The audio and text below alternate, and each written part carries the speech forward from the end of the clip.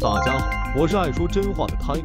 众所周知，安卓手机保值率一向不比苹果，经常出现发售没几个月价格就跳水的情况。其中，三星的 Galaxy 系列堪称跳水之王。上市一个多月的 Galaxy S 二十二 Ultra 就从九千六百九十九元降至八千元左右，降幅高达一千六百元。同系列的 S 二十二、S 二十二加也存在着大幅度的跳水。在 Tiger 看来，三星手机荣登跳水王的原因无非三点：一是三星旗舰的国行定价严重虚高，调价空间很大；二是三星国内对渠道把控不严格；三是受销量和其他地区版本的冲击。不过，三星跳水有多方面原因，而国产旗舰手机的跳水大多数是因为自身产品力不足导致的。像小米的 Mix 四，在发售后仅四个月就接近两千元的降价，而如此大幅度的降价，除了处理器拉垮、系统不稳定。产品定位不明，特色不突出之外，还有众多原因，但归根到底就是自身的产品力不足。像 Mix 四这样跳水严重的国产手机还有很多，不过虽然安卓大部分机型都会大幅度跳水，仍有部分机型保值率超高，甚至超过苹果。Vivo X 八零发售价三千六百九十九元起，至今发售已三个月，而在第三方平台，价格上仅有三百左右的波动，可以说几乎没有降价，保值程度甚至超过苹果。不降价代表着相比于其他手机，vivo X 八零系列有着很强的竞争力。从外观到性能再到续航，在三千六百九十九元这个价格上，vivo X 八零这款手机是一款几乎没有短板的准旗舰。vivo X 八零采用素皮机身加陶瓷云窗，不仅握持手感优秀，还有很强的辨识度。处理器方面，vivo X 八零采用的是天玑九千处理器，采用台积电四纳米工艺，平均功耗和能耗比基本碾压同时代的骁龙八 Gen 一与 A 十五芯片的性能差距也小了很多。影像方面，X 八零首发搭载索尼 IMX。八六六 RGBW 大底传感器，而且它的超广角和长焦头均采用了索尼的 IMX 六六三，影像能力会比同价位的机型强上不少。同时，该机还内置自研影像芯片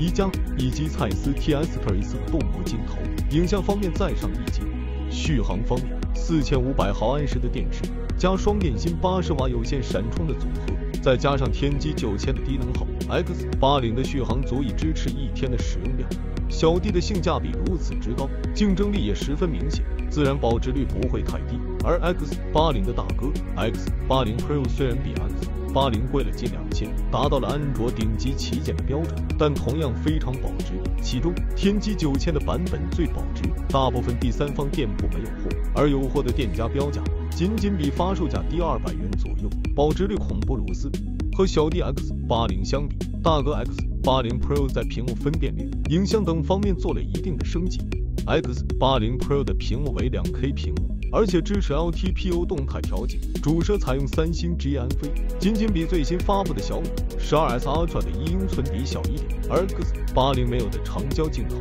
作为大哥的 X 八零 Pro 当然得配备上，而且 X 八零 Pro 的长焦镜头和超广角镜头支持微云台防抖。续航方面。X 八零 Pro 的电池仅仅增加了二百毫安时至四千七百毫安时，仅仅是平均水平，而且充电功率也仅在八十瓦，这一点略逊于同价位的其他手机。在续航上，vivo 还是保守了点。不过，X 八零 Pro 还比 X 八零多了无线充电、反向充电、超声波指纹、IP 八六防水等。作为升级这些配置的代价是一千六百元。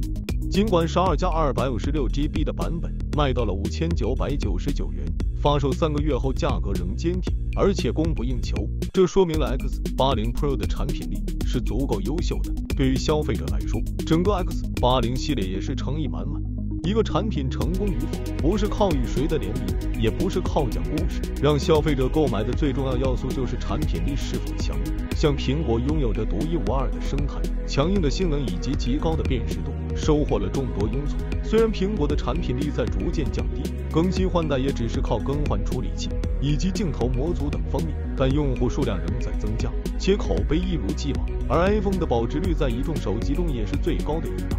Vivo X 八零系列。虽然从口碑、产品力等各方面来说都比不过 iPhone，但是在保值率方面，vivo X 八零可以说是做到了。而保值率堪比 iPhone，也在侧面反映出 vivo 的产品力在逐渐提升，逐渐成为业界顶流。或许在将来，vivo 能给我们的除了高保值率以外，还有新的惊喜。好了，以上就是本期内容，欢迎您在评论区交流。想了解更多数码资讯，别忘了订阅关注 Tiger，我们下期再见。